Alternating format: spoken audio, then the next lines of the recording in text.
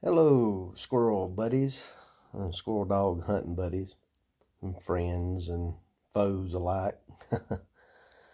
uh, I've been doing these uh, squirrel hunting videos, and uh, uh, I got a question from one guy that he uh, he said, "Why don't you introduce yourself?" Well, I guess I hadn't really introduced myself on these videos, and they're really low quality and just me out videoing myself with uh, training these squirrel dogs and the procedures and stuff I do, just trying to document it and and uh, you know, just in case people want to know how I do it or if I need to show somebody else something, I got a video I can send you. Um, my name is uh, uh, Chad Funk. I'm from um, I live in Pendleton, South Carolina, right near Clemson University.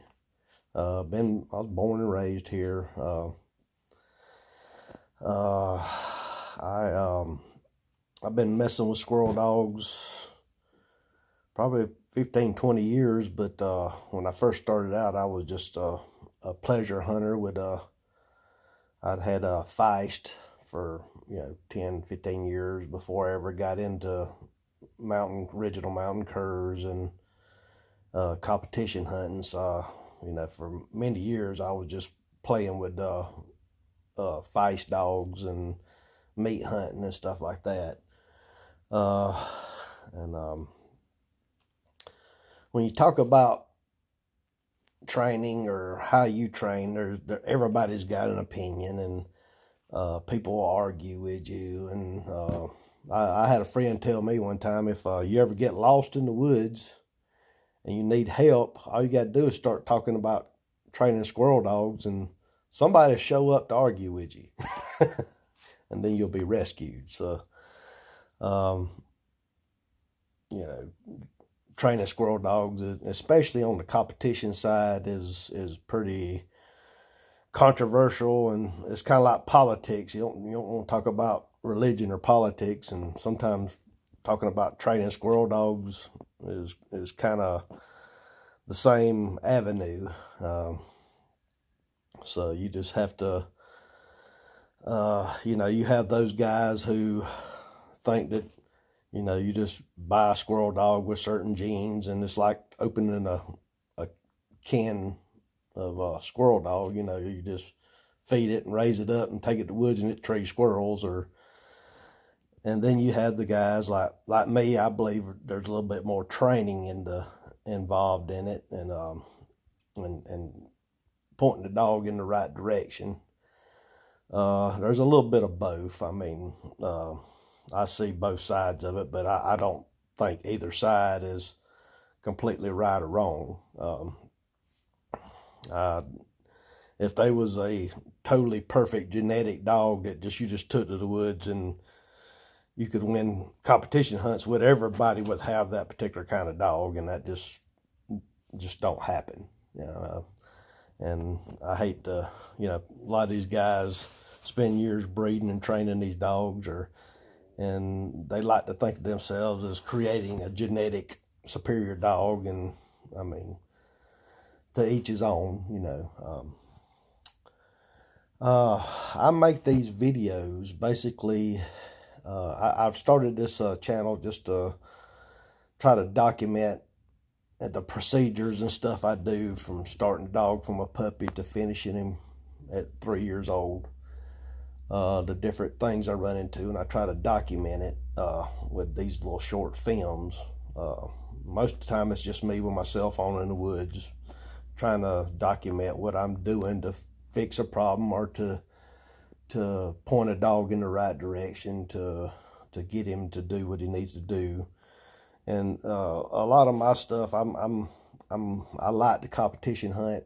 I do meat hunt, and uh, they're basically two kind of different dogs. Um, if I'm just training a dog to be a uh, meat dog, I don't I don't concentrate as much on how tight the dog is on the tree. Um, uh, and uh, you know you're just trying to kill a squirrel you just need a dog to go and locate the squirrel for you and and and get you close to it close enough to kill it you know in a competition hunt it's more about how the style the dog has on the tree. Uh, you know, you can't have a dog that's loose. Uh, um, the most competition hunts let you get about between 15 to 30 steps before the dog, if the dog comes off the tree, the dog will be minus.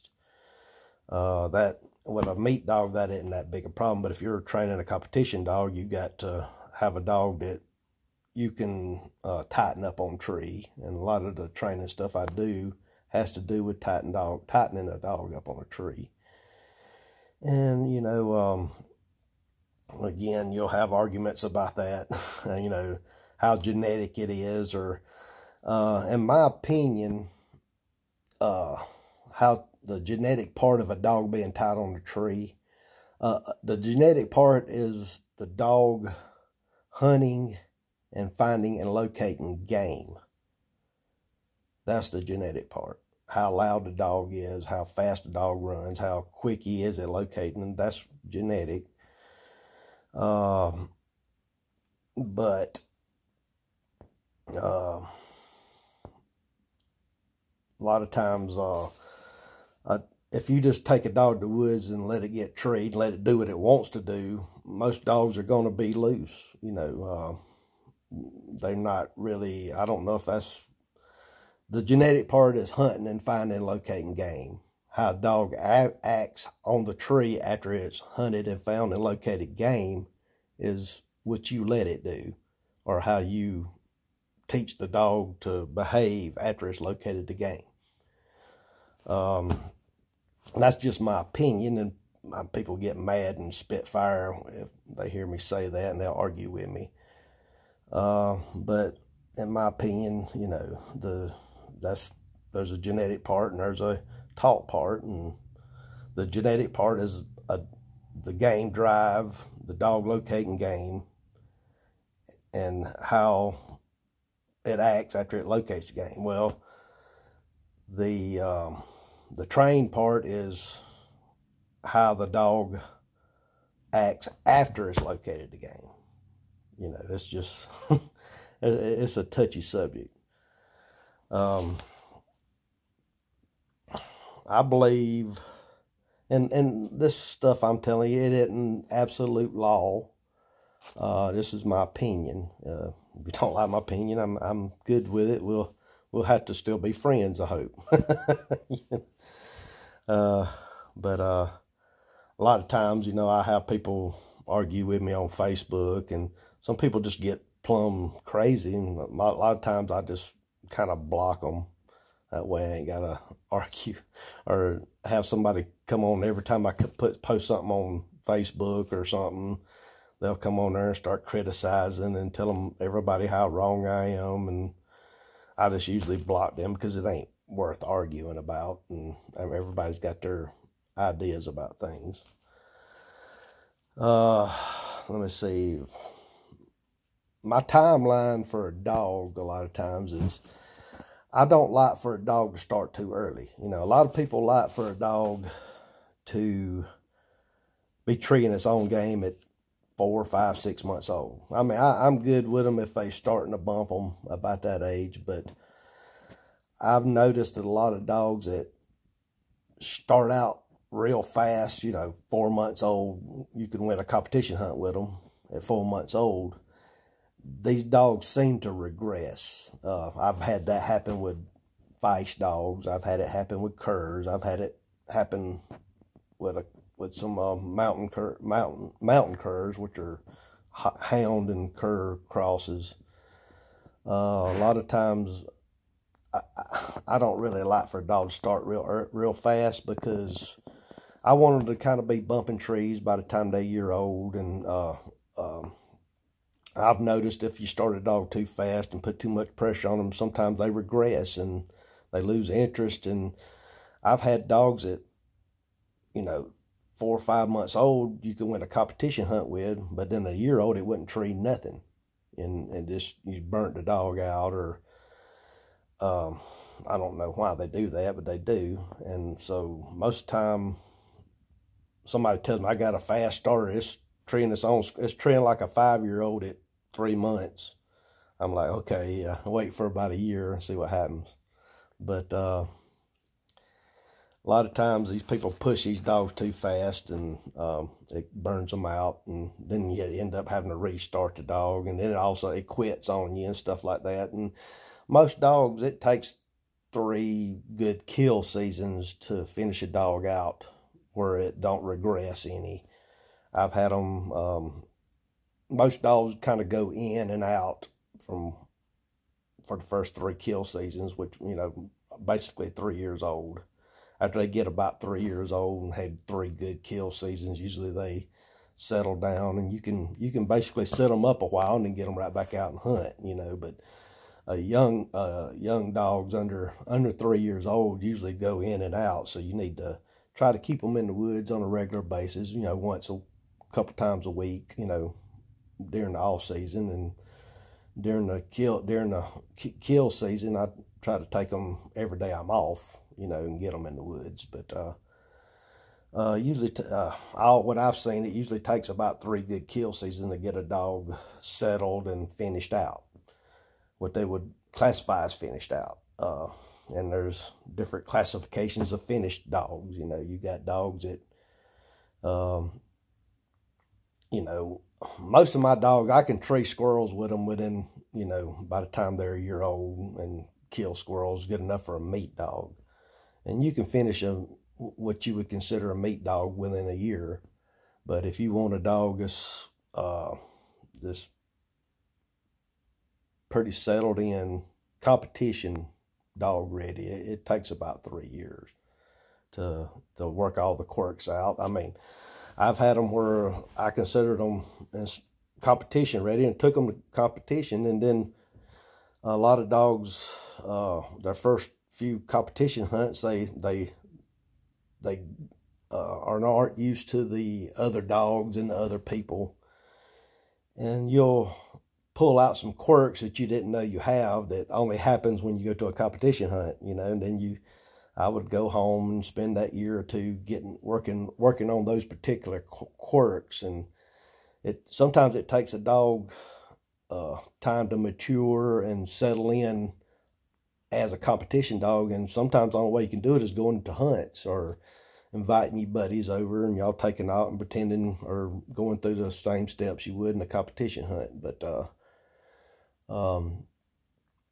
there's, like I said, this um, well, I lose my train of thought, but uh, uh, and another thing with the competition hunts, if you want a competition hunt, uh, first thing you want to do is you know learn the rules to the hunt. You know, you, you got to study up and and a lot of competition places will let you go and, and go out on cast with people and, and kind of learn the rules and but you want to know the rules and uh, because that makes you a good handler and, and being a handler in a competition hunt is is a category in its own. You know, it's um, you know, you want to be smart. You know, if you get ahead in the cast, or you're a couple squirrels ahead, you you might not want to tree that dog in unless you have to, or um, because you don't want to take a chance and get your dog minus after you're ahead, and just different techniques like that. That's uh, but uh, handling is his, is his own category. I mean, there's really good uh, guys that are real good at handling, and they do it professionally uh, I have people argue with me about training dogs, but uh, sometimes these people never really train the dog themselves. They, you know, a lot of you have a lot of money men and a lot of professional handlers. So a lot of these guys has never uh, uh, a money man bought them a four year old dog that's been already winning competition hunts and they've been hunting it and they got a big name, you know. Um, but that's um, like I said, uh, handling's his own category.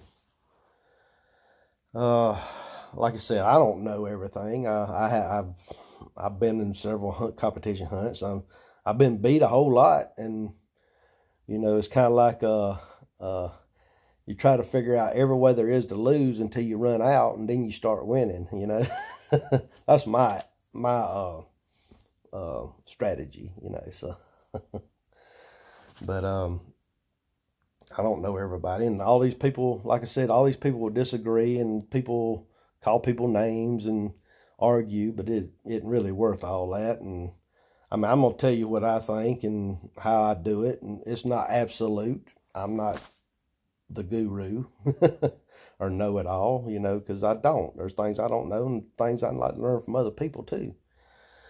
Um, you know, and you got the the idea about genetics on a dog. If uh, I've never seen a dog that you could come from any cross that you could sit in a kennel for three years and then just get it out and go to the woods and it's going to be like a A1 class competition dog. That just don't happen. You know, now there are things that's genetic, like the voice of a dog. You know, in your competition, you want to be able to hear your dog at three or four hundred yards, and if there's two or three other dogs there, if your dog's louder than they are, you're going to be able to tree your dog in first. Uh, there's different. There's um, good things about having a loud dog, being able to hear him at a distance. You know, uh, having a dog that goes out, goes deep, uh, some people like them close, hunt a little closer. I like a dog to go to the nearest squirrel. you know, that's my guideline. Um, you know, you got, and, and, and a lot of people like call the way I train dogs. They say, "Oh, it's a man-made dog," you know, and I'm like, you know, you know, and people, you know, they'll they'll put other people down and try to. I don't know. It's it's it's kind of nitty pitty, but. Uh, they'll call like some of the stuff I do. Oh, was a man-made dog, man-made tree dog, you know, but it trees and, you know, it's, um, and I guess if you don't like that, if you want a natural tree dog, but I don't, if you don't train the dog a little bit, you ain't never going to find a perfect genetic dog for competition hunting. Like I said, there's no there's no cross that I've ever heard of that you could put in a kennel and leave it there for three years and get it out and go kill squirrels. It just don't happen. And there's people who think that's the case. but um, uh, like I said, uh, most most curs and feist and stuff's gonna have some sort of uh, quirk, you know, where you know, like a that would mess you up, kind of like a dog not being tied on a tree, you know, get you minus on every tree in a competition hunt. Um, I've had dogs that were a little bit ill or timid, didn't like the other dogs, and uh, that could get you in trouble in a competition hunt. And you know, most time if they're a little ill or something, you want you might just want to make them a, a meat pleasure dog. Um, you know, there's, uh,